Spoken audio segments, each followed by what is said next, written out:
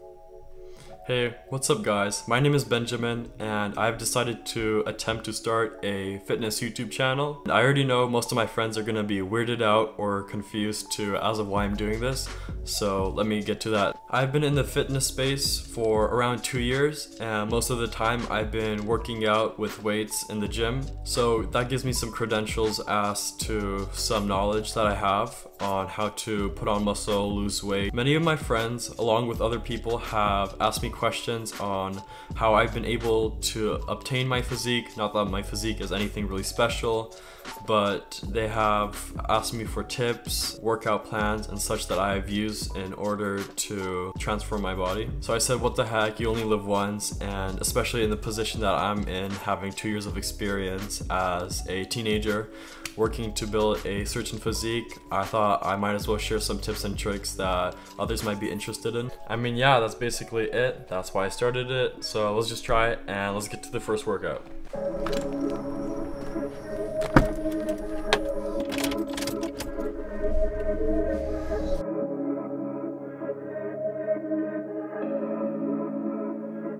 So, dude. What's up, What's up, baby? First vlog, first vlog. First vlog? Oh,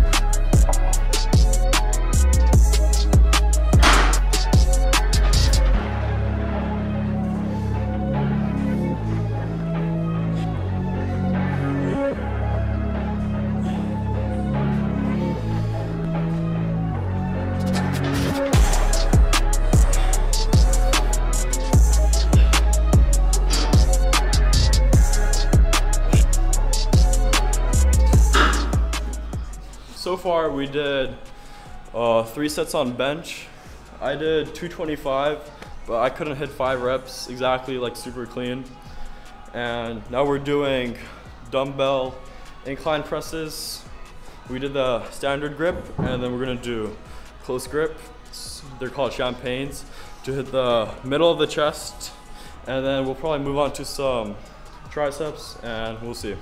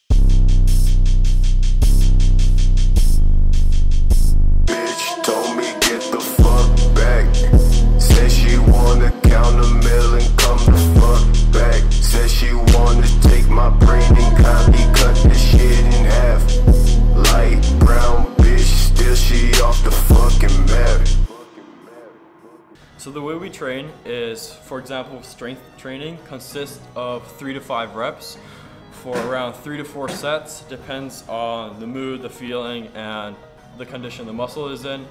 So for strength training, you want to fail around the fourth rep, and then your fifth rep should be the hardest rep, where you can barely get it up. And in that case, you would want to have a good spotter.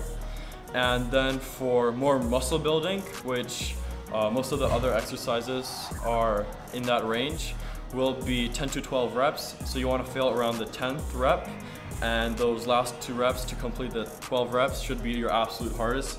will you put all your strength into, and that way your muscle fibers uh, will tear, and that's how muscle basically grows. Because then the torn muscle fiber then has to repair itself in order to regrow and gets bigger and stronger. All right, so we did some one-handed tricep pull downs, and that helps isolate each tricep separately and really focuses on the long head of the tricep, which is the underneath most part of your arm. And then we did into some rope pull downs that engages both of them at the same time. And then we transitioned to the flies on that machine right there. And that one's for chest. We do around 10 to 12 reps and three to four sets, depending on how we feel. Might hit some rear delts right now, and that'll probably be it for the workout.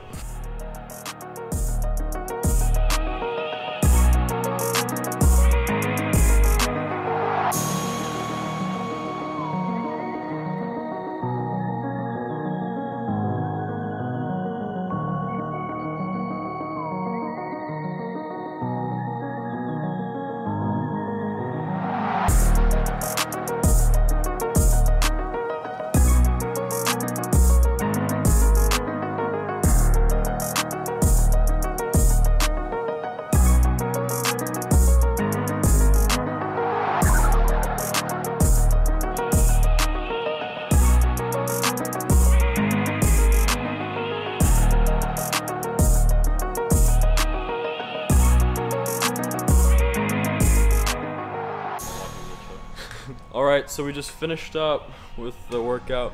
It wasn't too long this time. Okay, so that's it for the workout session. It was a little over an hour, but some questions I want to answer before I'm gonna get spammed in the comments is first off, do I take creatine? Uh, no, I don't take creatine. I've used it for a month or two and didn't really uh, find a difference while taking it or not being on it. And second off, what supplements do I take?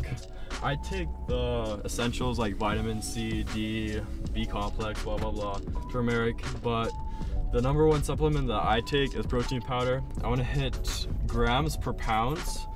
So one gram of protein powder per one pound of body weight.